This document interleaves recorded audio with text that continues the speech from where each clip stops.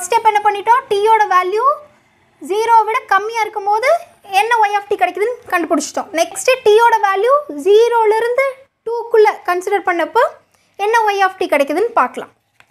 X of tau நான் plot பண்ணிட்டேன். Next H of T minus டவ்வை நான் ஷிஃப்ட் பண்ணுறேன் ஓகே எதுக்கு?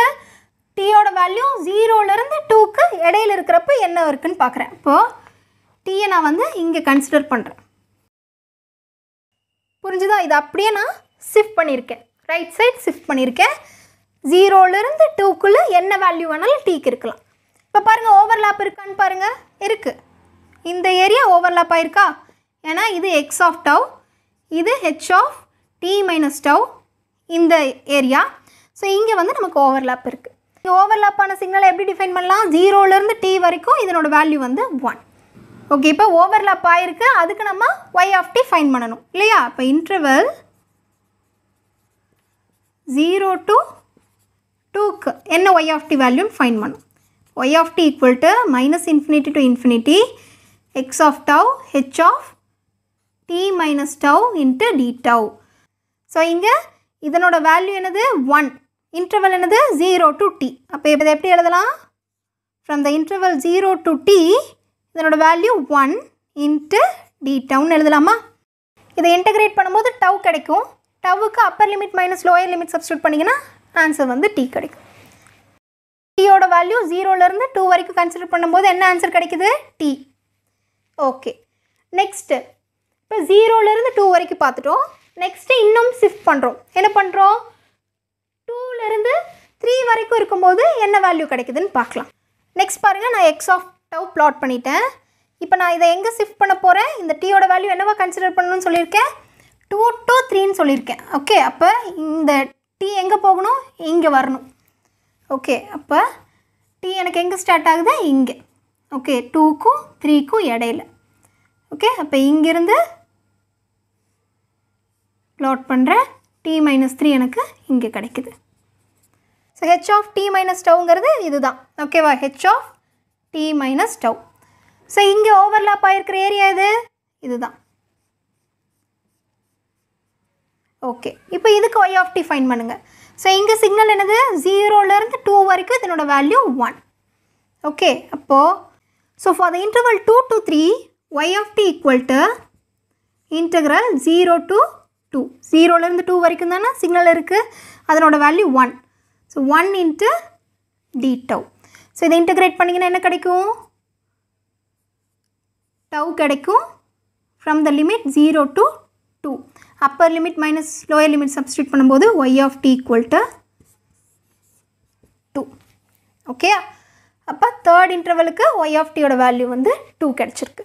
ஓகே இப்போ ஸ்பேஸ் இல்லாதனால இந்த ஃபோர்த் அண்ட் ஃபிஃப்த் நான் எரேஸ் பண்ணிடுறேன். இதே ஸ்டெப் தான் நம்ம ரிப்பீட் பண்ண போகிறோம் இது தெரிஞ்சிருச்சுல?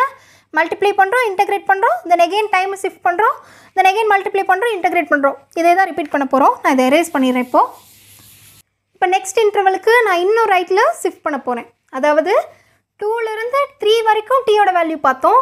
இப்போ எகெயின் த்ரீலேருந்து ஃபைவுக்கு இடையில டீயோட வேல்யூ இருந்ததுன்னா என்ன சேஞ்சஸ் வருதுன்னு பார்க்கலாம்.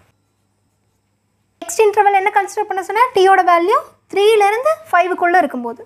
அதாவது த்ரீக்குள்ளே இருக்கிற வரைக்கும் என்ன சேஞ்சஸ்னு பார்த்தோம். இப்போ இந்த டீயை இன்னுமே மூவ் பண்ணி த்ரீலேருந்து ஃபைவுக்குள்ளே என்ன சேஞ்சஸ் வருதுன்னு பார்க்கலாம். ஸோ இங்கே எங்கே ஓவர்லாப் ஆயிருக்கு?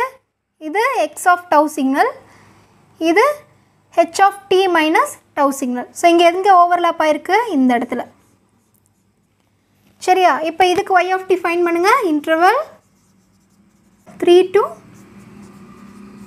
five y of t equal to integral t minus 3 to 2 3 minus 3 to 2 என்ன value 1 1 into d tau. So இதை இன்டிகிரேட் பண்ணிங்கன்னா டவ் கிடைக்கும். அப்பர் லிமிட் என்னது? டூ லோயர் லிமிட் என்னது? டி மைனஸ் த்ரீ ஸோ அப்போ two minus t minus three so answer என்னது? Five minus t next interval என்ன consider பண்ண போகிறேன் டீயோட வேல்யூ ஃபைவை விட கிரேட்டராக இருக்கிறப்போ என்ன சேஞ்சஸ் வருதுன்னு பார்க்கலாம். நெக்ஸ்ட் இன்டர்வல் பாருங்கள் நான் சொன்ன மாதிரி ஃபைவை விட அதிகமாக கன்சிடர் பண்ணியிருக்கோம் டீயோட வேல்யூ அதாவது இங்கேருந்து லெஃப்ட்லேருந்து நம்ம அப்படியே ஷிஃப்ட் பண்ணிகிட்டே போகிறோம் ஓகே லெஃப்ட்லேருந்து ஷிஃப்ட் பண்ணி ஃபஸ்ட்டு ஜீரோ டு டூ கடையில் டீயோட வேல்யூ கன்சிடர் பண்ணோம். அதுக்கப்புறம் டூ டு த்ரீ கன்சிடர் பண்ணோம். அதுக்கப்புறம் த்ரீ டு ஃபைவ் கன்சிடர் பண்ணோம். இப்போ ஃபைவை விடவே அதிகமாக ஷிஃப்ட் ஆயிடுச்சு. ஓகே டீயோட வேல்யூ ஃபைவை விட அதிகமாக கன்சிடர் பண்ணும்போது என்ன ஆகுது இந்த சிக்னல் ஓவர்லாப் ஆயிட்டு அந்த சைடு மூவ் ஆயிடுது சரியா? அப்போ என்ன ஆகுது ஓவர்லாப்பிங் நடக்கல. ஓகே ஸோ இங்கே for the interval டீயோட value greater than or equal to ஃபைவாக இருக்கும்போது ஒய் ஆஃப் டி வேல்யூ என்னது? ஜீரோ சிம்பிள் ஏன்னா ஓவர்லாப்பிங் இல்லை. ஓவர்லாப்பிங் இருந்தால் தான் அந்த இடத்துக்கு நம்ம இன்டகிரேட் பண்ண முடியும். இங்கே சிக்னல் ஓவர்லாப்பே ஆகலை. அதனால் ஒய் ஆஃப் டியோட வேல்யூ வந்து ஜீரோ ஸோ அவ்வளோதான் இதுக்கப்புறம் நம்ம ஷிஃப்டிங் பண்ணணுங்கிற அவசியம் கிடையாது. எதனாலனா டீயோட வேல்யூ ஃபைவை விட கிரேட்டரா அப் டு இன்ஃபினிட்டி வரைக்கும் நீங்கள் என்ன வேல்யூ டீக்கு கொடுத்தீங்கனாலும் ஒய் ஆஃப் டீயோட வேல்யூ ஜீரோ தான் கிடைக்க போகுது. அதாவது இங்கே ரைட் சைட் ஷிஃப்ட் பண்ணிகிட்டே வரும். நீ எகெயின் ஷிஃப்ட் பண்ண ஷிஃப்ட் பண்ண இதனோட டிஸ்டன்ஸ் அதிகமாகிட்டே தான் போகும். ஓவர்லாப்பிங் நடக்க போகிறது கிடையாது. ஸோ அதனால் y of t value zero தான். சரியா? ஸோ அவ்வளோதான் நம்ம எல்லா இன்டர்வல்ஸ்க்கும் ஃபைன் பண்ணிட்டோம். இப்போ லாஸ்ட்டாக ஒய் ஆஃப் டி பிளாட் பண்ணிடலாம். ஃபஸ்ட் இன்டர்வல் என்னது? டீயோட வேல்யூ ஜீரோ விட கம்மியாக இருக்கும்போது Y of டியோட value zero okay second interval டீயோட value ஜீரோலேருந்து டூ கடையில் இருக்கும்போது ஒய் ஆஃப் டியோட வேல்யூ வந்து டி அதான் எழுதியிருக்கேன். நெக்ஸ்ட் தேர்ட் இன்டர்வல் டியோட வேல்யூ டூ டூ த்ரீ இருக்கும்போது Y of டியோட value two next fourth interval டியோட value த்ரீலேருந்து ஃபைவுக்குள்ளே இருக்கும்போது Y of டியோட value five minus t then ஃபைவை விட கிரேட்டராக இருக்கும்போது ஒய் ஆஃப் டியோட வேல்யூ வந்து ஜீரோ ஸோ இதுக்கு நம்ம இப்போ கிராஃப் பிளாட் பண்ணலாம். ஸோ ஃபஸ்ட் டீயோட வேல்யூ ஜீரோவை விட கம்மியாக இருக்கும்போது அதனோட வேல்யூ ஜீரோ தான். ஓகே இங்கே சிக்னலே இல்லை. நெக்ஸ்ட்டு டீயோட வேல்யூ ஜீரோலேருந்து டூ வரைக்கும் இருக்கும்போது ஒய் ஆஃப் டி என்னது? டி அதாவது டைம் வந்து ஒன்னாக இருந்ததுன்னா இங்கேயும் ஒன் டைம் டூனா இங்கேயும் டூ சரியா? அப்போ ஜீரோலேருந்து டூ வரைக்கும் டைம் ஆக்சிஸ் என்னவோ அதே தான் ஆம்ப்ளிடியூட்லேயும் ப்ளாட் பண்ணுறோம் நெக்ஸ்ட்டு டூலேருந்து த்ரீ வரைக்கும். டூலேருந்து த்ரீ வரைக்கும் ஆம்ப்ளிடியூட் என்னது? டூ ஓகேவா அது வரைக்கும் டூ நெக்ஸ்ட்டு த்ரீலேருந்து ஃபைவ் வரைக்கும் ஃபைவ் மைனஸ் டி அதாவது ஃபார் எக்ஸாம்பிள் இப்போ டிஏ ஃபோர்னு கன்சிடர் பண்ணிங்கன்னா five minus four one okay t a four point ஃபைவ்னு கன்சிடர் பண்ணிங்கன்னா five minus four point five point five ஃபோர்னு கன்சிடர் பண்ணிங்கன்னா ஆம்ப்ளிடியூட வேல்யூ ஒன்னு கிடைக்கும். ஃபோர் பாயிண்ட் ஃபைவ்னு கன்சிடர் பண்ணிங்கன்னா ஆம்ப்ளிடியூட வேல்யூ ஜீரோ பாயிண்ட் ஃபைவ்னு கிடைக்கும். த்ரீ பாயிண்ட் ஃபைவ்னு கன்சிடர் பண்ணிங்கன்னா ஆம்ப்ளிடியூட வேல்யூ ஒன் பாயிண்ட் ஃபைவ்னு கிடச்சிருக்கும். ஃபைனலாக டீயோட value greater than or equal to ஃபைவாக இருக்கும்போது ஜீரோ தான். ஸோ இதுதான் சிக்னல் ஸோ இங்கே இப்போ ஒரு சிக்னலை நீங்கள் ஷிஃப்ட் பண்ணிகிட்டே வரீங்க. அப்போ உங்களுக்கு இந்த சேஞ்சஸ் நடக்குது. சரியா? இப்போ இந்த டெஃபினேஷன் பாருங்கள் புரியும்.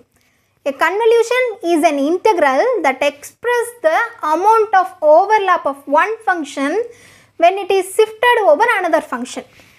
Okay, overlap of one function that is shifted over another function. இன்றைக்கி நம்ம பார்த்த ப்ராப்ளம் அண்ணா யூனிவர்சிட்டியில் கேட்ட கொஸ்டின் தான். கொஞ்சம் சிம்பிளாக புரியணுங்கிறக்காக நான் இந்த ப்ராப்ளம் எடுத்திருக்கேன். ஸோ கிராஃபிக்கல் மெத்தடில் எந்த ப்ராப்ளம் கொடுத்தாலும் நீங்கள் இதே மாதிரி தான் கன்வல்யூட் பண்ணணும். அண்ட் ஒன் மோர் திங் இங்கே இன்டர்வல்ஸ் எப்படி சூஸ் பண்ணுறதுங்கிறது ஒரு டவுட் இருக்கலாம்.